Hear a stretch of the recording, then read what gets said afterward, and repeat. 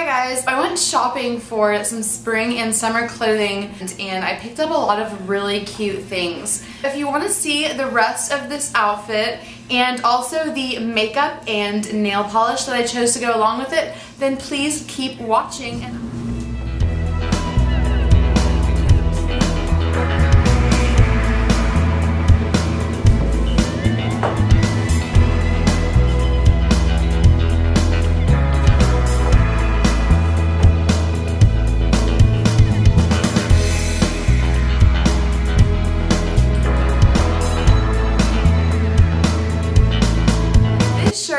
Am so happy with.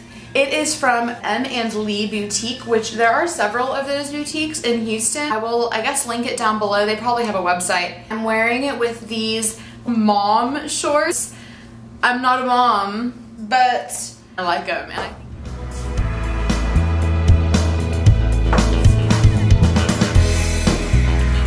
are really adorable. They have the high-waisted aspect, so if you have a small waist, they're really flattering there. And this would be so cute for like the rodeo or something.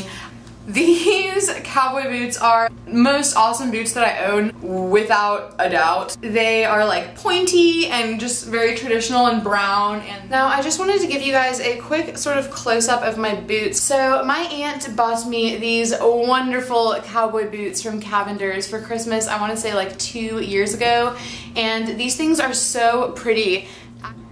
This ring I got from Harwin, which is like the Chinatown of Houston. It's like a cute statement ring that was cheap.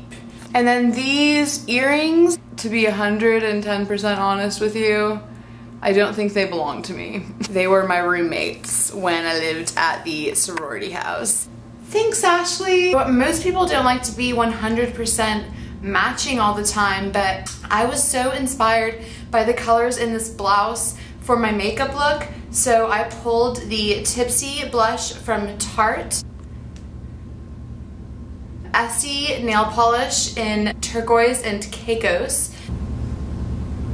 Milani Brilliant Shine lip gloss in Coral Crush.